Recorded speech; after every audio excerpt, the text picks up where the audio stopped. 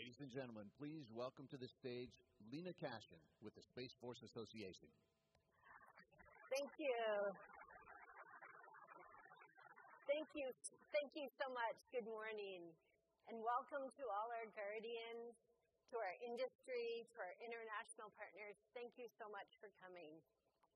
Today, we're going to start out the threat briefing with a foundational piece about Russia and China and how they're countering our space capabilities. Um, it's been very important, as General Saltzman mentioned in his remarks, space enables our way of life.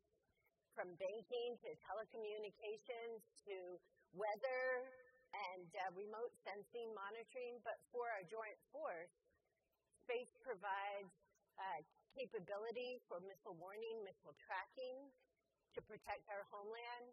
It also provides us assured communications in areas that are hard to get to and hard to operate in. It provides us position, navigation, timing for precision targeting. But China and Russia are challenging that. And to give you a brief on that, uh, we have our threat uh, expert, Chief Master Sergeant Ron Lerch, and also Clint Clark from ExoAnalytics. We're providing a space threat brief a little bit different today than normal. It's not just U.S. government, but it's U.S. government partnered with industry. So to present this threat brief is Chief Master Sergeant Ron Lerch and Clint Clark.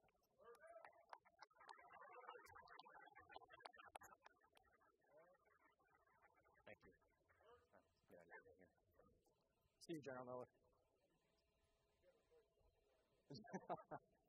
All right. Good morning, SFA. You know, Clint and I were joking in the back that, uh, based off of the SFA screensaver, we should have had a slide dedicated to a threat brief on the sun. It seems like it's this menacing looming threat, and based off of what CSO and uh, Simpson just talked about, apparently that was an issue with the Guardian Arena as well.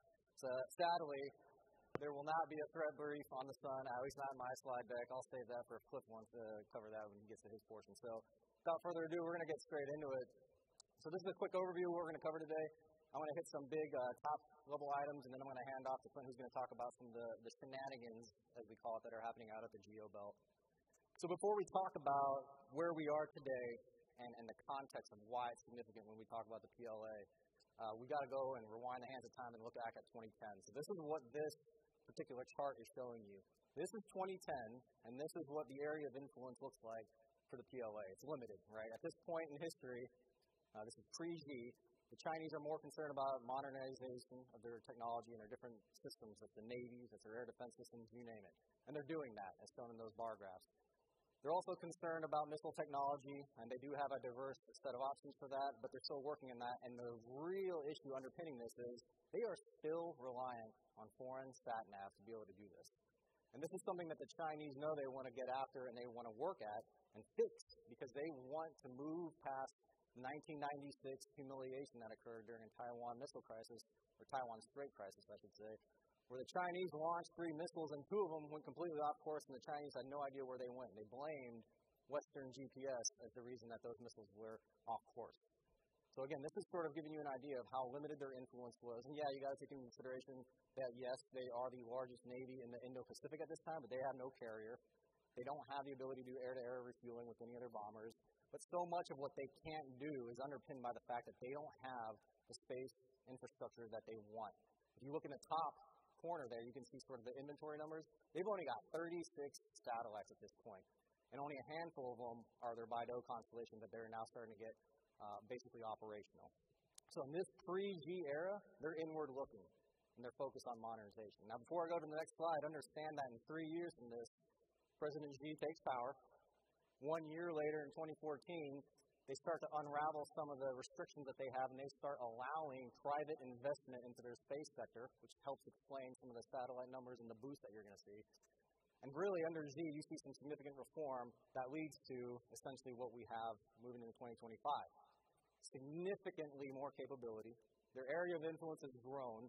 And if you look at the sort of call-out box that has the numbers, we went from 36 satellites in 2010 to over 1,000 before as we move in 2025.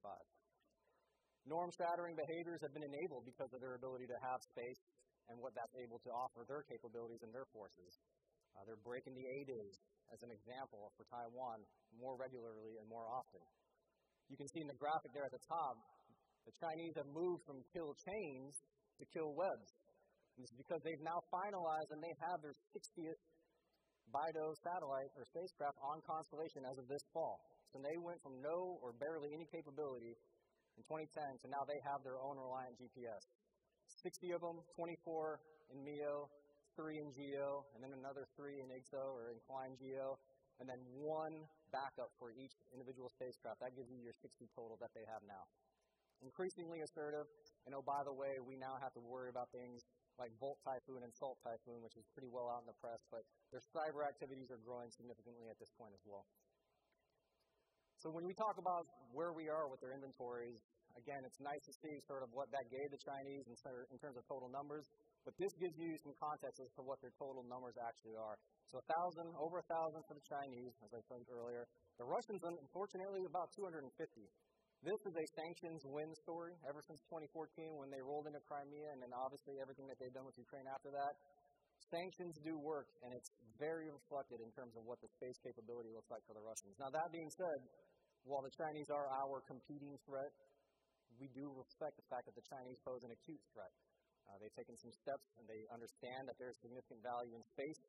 We've all heard about some of the uh, discussions about a potential nuclear capability that they want to have on orbit one day. And also, we do know that in recent months, the Russians are now looking at very low Earth orbit, so VLEO could be able to help out with some of their remote sensing needs as they look at their efforts in Ukraine. So I want to talk for a second about the power commercial in these next few slides. The Chinese are very, very good about talking about what they can do in a public domain. And these are some examples. On the left, they publicized a report. They had a, essentially a research paper that talked about how they can see GSSAP. They even talk about silent barker. And then they even show renderings of what they say GSSAP looks like. On the right side of the slide, you essentially see what they have as a overseas naval port. That's all that they call it, but it's a commercial synthetic aperture radar image of an overseas port.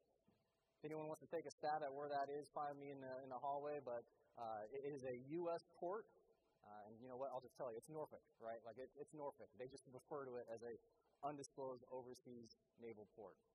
It's good. It really is. Problem is, we can do better, and we are better at what we do. So on the left, it's cute and all that the Chinese use renderings of GSSAP, but this is Worldview, right? Maxar, looking at one of their own Worldview birds doing near Earth imaging. A lot better than just a rendering. On the right, you have Capella, synthetic aperture radar shot, and we don't have to hide the fact that we're looking at a naval base. That's Yulin, that's a Chinese naval base. Exquisite capability, good capability. The key takeaway here is when we talk about how we need to exploit what we have, buy what we can, and build what we must, this is buying what we can. This is what's out there, and this commercial capability that's available is what can help us as a service shift our efforts when we talk about the budget and our priorities towards space superiority and the things that don't really have a commercial niche market. So to close things out on my particular portion of this, I just want to highlight some of the space key events for the PRC this year.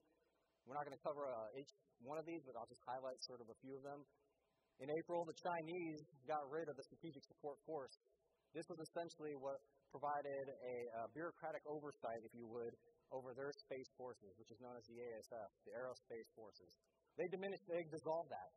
Completely got rid of it in April this year, probably because of corruption, but the problem with this is this elevated their space forces to where now they are directly below the CMC, which is their highest decision making organ within the country. So they essentially have that, as we like to say in the military, direct choke on over their space forces. That happened as of April of this year. They've accomplished several significant events. You know, you can see there they did a 12 kilometer hop test They are chasing reusability just recently this week. Uh, one of the leaders of one of the premier commercial companies in China mentioned that by the end of the decade, they expect to be, and I quote, seeing SpaceX's taillights, end quote. So in terms of where they are in reusability and what they want to get after for capability, that's where they sort of see themselves and what they want to get after. It's not all good news, though, and this is a sort of a plug for, hey, standards has a, has a place sometimes.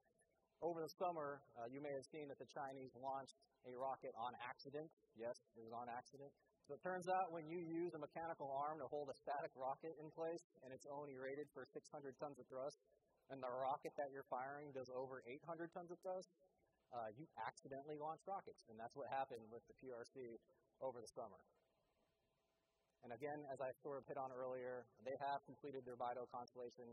It's sort of all eyes now looking forward to BeiDou 4 and what kind of capabilities that they're going to get with that as they start to look into the research and development for that particular capability.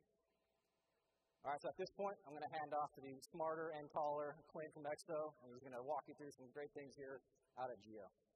But not better looking. He noticed he left that out. Normally, this is the part of the conference where I'll say things are about to get real weird, but uh, you guys made it weird enough, SFA, so appreciate that. So I feel in, I'm in good company here. So, what do I want to talk about? So, it's one thing to see their layout, their, their body count, their order of battle. It's an entirely different thing when you see them operating on orbit, right? So, you had a fifth year birthday video. Why are we here?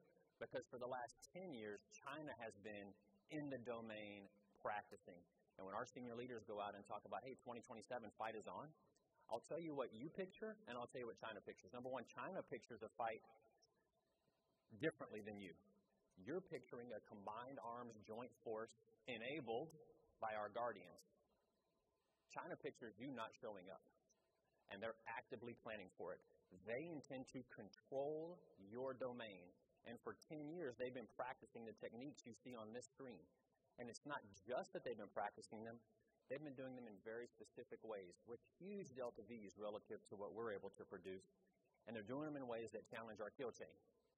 And you've got to be ready for that. So ordinarily, I do a long form version of this. We show you all these tactics. We don't have time today. We're just going to touch some highlights, and I'll show you one thing at the end. I may call it a Christmas present, but it happened in October, so it might be the nightmare before Christmas. We'll show you something fun at the end, and I'll try to get off on the clock here. So, where do we begin?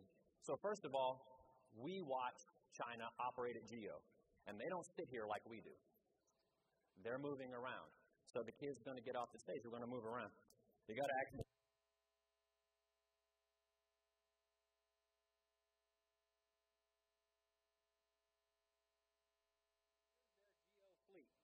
Close. They are still not there. And we, oh, we got Tom's back. They weren't prepared for a hop off the mic. You know what?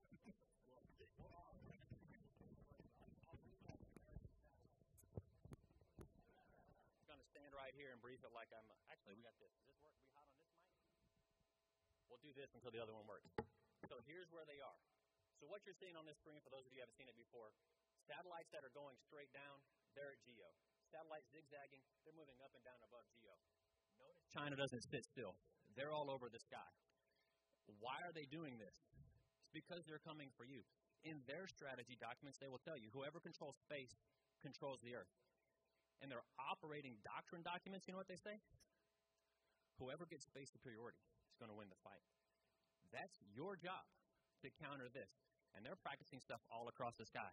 So normally when you see these, these technology briefs, we're like, oh, let's talk about their experimental satellites. Their experimental satellites move around, they do a bunch of stuff. A whole bunch of things that they do. They go up and down the belt, they hold everybody at risk. Periodically, they do crazy stuff. They'll get on top of a satellite they'll show you how to do some of this to it. And sometimes they'll pick it up and move it away. They're practicing those tactics. And if, like General Kaufman, you don't have any defensive counter space tactics, I can get my hands on you and I can do what I want. They're practicing it all the time. So we talk about these all the time because they're the scariest. But they just got routine inspector satellites that just walk up and down the belt. What are they doing? Well, I get a good look at you, got a good look at you, I got a good look at you. If I've got RF, I've got a good picture of the RF environment coming up and down. If I'm below you, I get to see you this way. Now I come up above. I can look at them from the other side. I can see what they're doing. They're doing these techniques all the time. And it looks like this. And when you look up there and you see orange, that's just measurements. When you see white, that is an alert that they have done something unusual, either by themselves or they got a little too close for comfort to something else where they can, right? I'm not a collision risk because I'm not moving, but I, I can have military effect on you. And China's satellites can have military effect on all of yours. And if you're going to control the domain, you better have a plan for this. They've just got their routine geo fleet. Looks like ours, sits there. I think in this case I'm showing you missile warning, but I could have shown you SIGINT, could have shown you EOIR, things that give them missile warning, things that give them precision targets on the ground, things that give them moving target indicator. They've got a huge fleet of those. you'll notice one of these has a lot of white dots. Why is that? Because they know we have assets up there and they want to be able to defend themselves. So they're practicing defensive counter space techniques all the time. And we see their tactics. And for those of you in the operating commands, you better start practicing against those tactics because they're either coming for you or when you come for them, they're going to have a playbook to run against you to make sure they can still provide space services to their force, over the horizon targeting, precision strike, and we can't. That's the game. All right, let's see. We got one more. All right. So this is your Christmas present. Nobody's seen this before. You may have heard Intelsat 33E had a really bad day. A really bad day in space is really bad. Never seen something like this at GEO. So what happened? I don't know. But I know it went from one thing to about a thousand things. And I'm going to show you what that looks like. In this case, it's just a commercial object that had some sort of event, it exploded. However, you've never seen what a destructive ASAT at GEO will do to the GEO belt. I'm about to show you what it looks like because we see China practicing tactics that look like co-orbital threats and direct ascent threats to GEO. So what I want you all to do to get a sense, this is your nightmare before Christmas, look where Intelsat 33 is in the bottom. I'm going to start a video. You're going to see what the geo population looked like on October the 18th. And then you're going to see what it looked like after. And for those of you that are responsible for dealing with counter, counter space threats, you've got to stop this from happening intentionally. So, video's going. Sound effects are appreciated.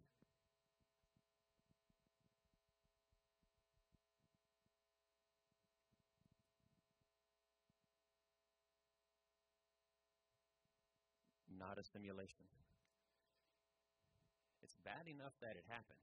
And, and initially, there was a lot of debris we had to worry about for collisions. But I'll say this directly to Rock Miller.